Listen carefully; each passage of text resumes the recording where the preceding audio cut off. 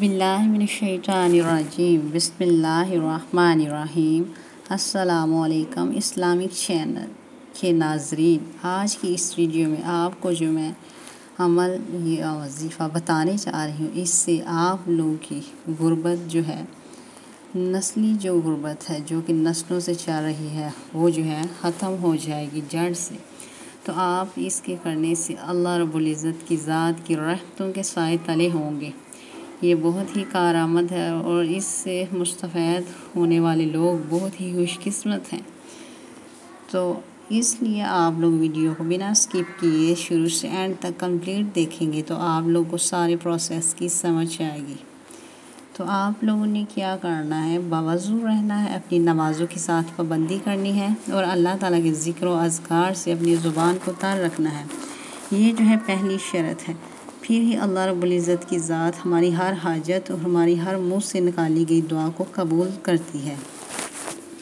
तो आप लोग जो है, इसको अजर सवाब की नीयत से मज़ीद आगे भी शेयर करें ताकि अल्लाह रब्ज़त की ज़ात हाँ सब की मुश्किलों के सदक़े हमारी मुश्किलें भी और हमारी हाजतें पूरी करेगी और मुश्किलों को आसान करेगी और हर जो है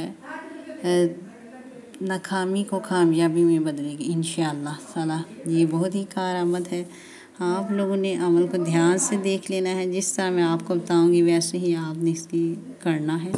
सबसे पहले आप लोगों ने अपनी हाजत, अपने मकसद की नीयत करके फिर आपने तउज़ तस्मिया पढ़ना है, बवज़ू होकर अउज़ बिल्लामिनशैतानिर्रजीम बिस्मिल्लाहिर्रहमानिर्रहीम फिर आप लोगों ने नबी करीम सल्लल्लाहु अलैहि वसल्लम पर दरूद शरीफ पढ़ना है। वल्लाह ताकत एक, तीन, पाँच, सात, ये ग्यारह मरतबा आपने जितनी दफ़ा इजीली पढ़ सकते हैं, पढ़ना है। फिर आप लोगों ने क्या करना है कि सबसे पहले आपको ये जो स्क्रीन पर आयत करीमा नज़र आ रही एक छोटी सी आयत है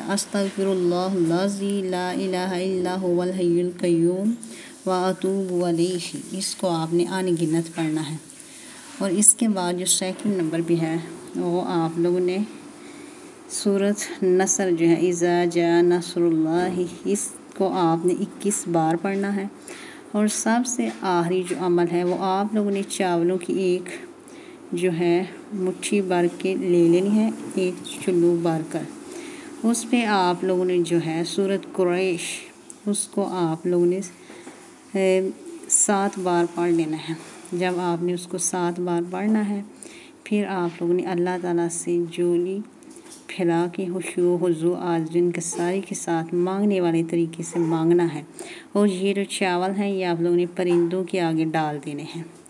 फिर आप जो भी दुआ मुँह से निकालेंगे तो वो मिनटों में आपकी दुआ कबूल हो जाएगी, आपकी हाजत पूरी होगी, हर मसला हल हो जाएगा।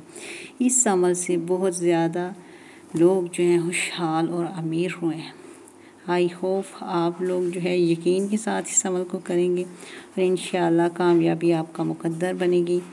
तो आप लोग जो है वो चैनल पर नए हैं तो इसको लाइक और सब्सक्राइब भी कर दें और मुझे अपनी दुआओं में याद रखिएगा। बहुत शुक्रिया। जजाक जजाकिल्ला खैरन कसीरा। सदकल्लाज़ीम